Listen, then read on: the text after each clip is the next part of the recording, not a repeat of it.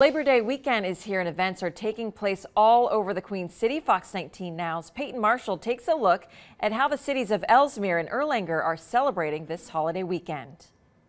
Bounce houses, basketball lessons, a parade, and more. That's how the cities of Elsmere and Erlanger kicked off their Labor Day celebrations.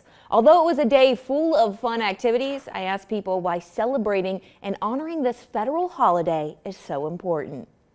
This is just a tradition that started almost 30 years ago.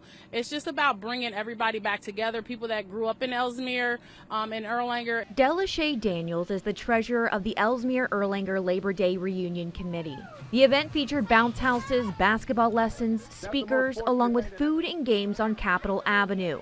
And many families got to kick back and enjoy the parade on Garvey Avenue. It just allows them to get to know their neighbors, um, come out, have a good time. Everything is free to the public. Committee members tell me the day is really about unison.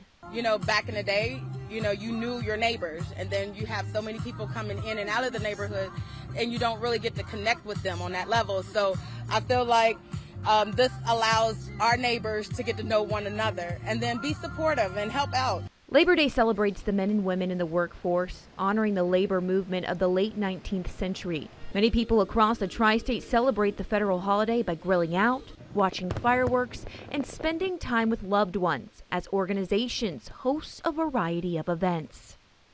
If you missed out on today's festivities, well, don't worry because the cities of Elsmere and Erlanger will be back at it with Labor Day celebrations tomorrow from 10 a.m. to 5 p.m. You can learn more on our website and free mobile news app. In studio, Peyton Marshall, Fox 19 Now.